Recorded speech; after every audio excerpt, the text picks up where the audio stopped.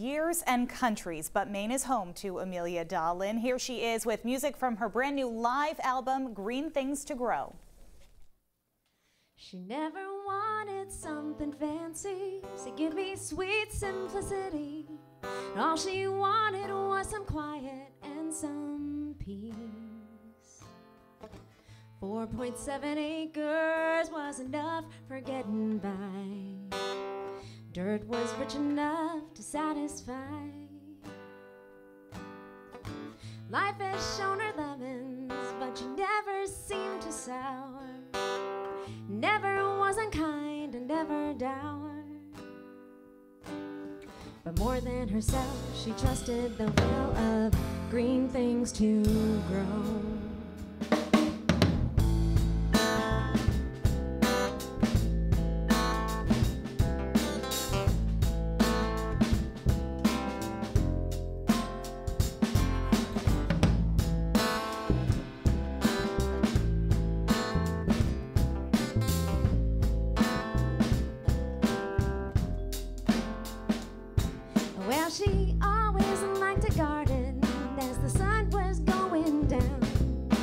Get down on hands and knees and feel around.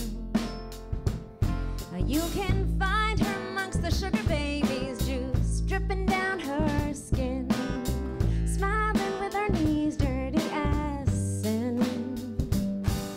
But more than religion, she trusted the will of green things to grow.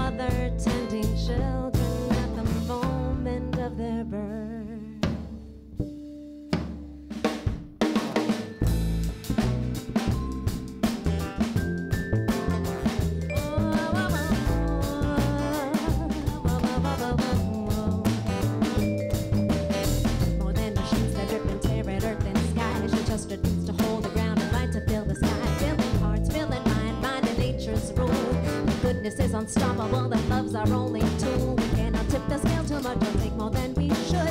Greed cannot bloom faster than any flower could. There's much to be learned from watching tendrils reach the sky. Only when we start to listen will we ever start to cry.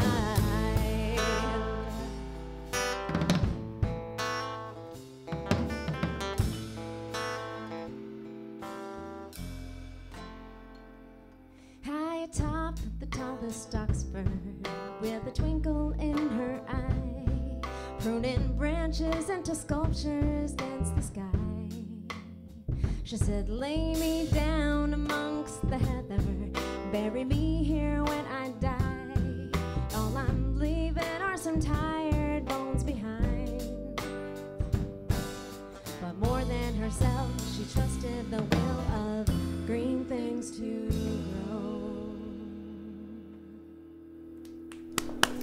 Colin Seth, Kate, Emilia Dahlin, thank you guys for coming in and Thanks playing for, us. having us. I appreciate it. Of course, that song, Green Things to Grow, I was reading, it's sort of about transitioning in life.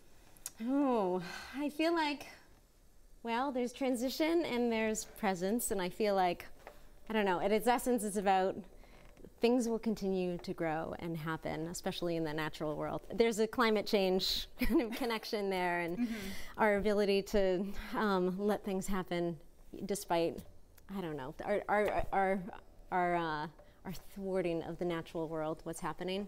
Things will continue to happen. It's really more about people and our strife that it's. Am I making sense? Yes, of course. and that said, you are um, a self-proclaimed activist, and, and music is sort of a way for you to connect with your community. What do you hope people take away from your music? Oh, what a great question. I think, um, you know, always a sense of comfort and connection. Um, I think music is one of the things that gives us the ability to, to feel like we're not alone. Um, and so that's a big piece of it. And yeah, I, I think that's connection is a big one. This is fifth album for you, but the first time you've done a live album. What went into this? Oh my gosh, a lot. so um, we built we built a venue essentially. A friend lent an industrial warehouse space, and we built it into a venue for the night. So stage, lights, sound, everything.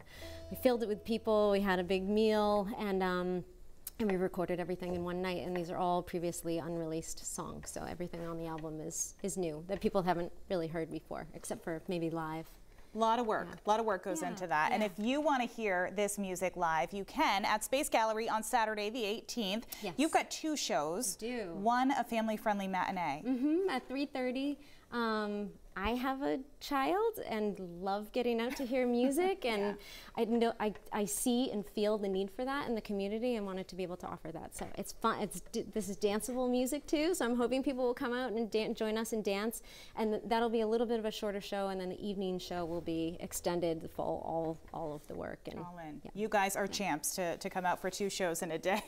we're looking forward to it if you want to see them, Space Gallery on Saturday. You can find more information in the 207 section of our website.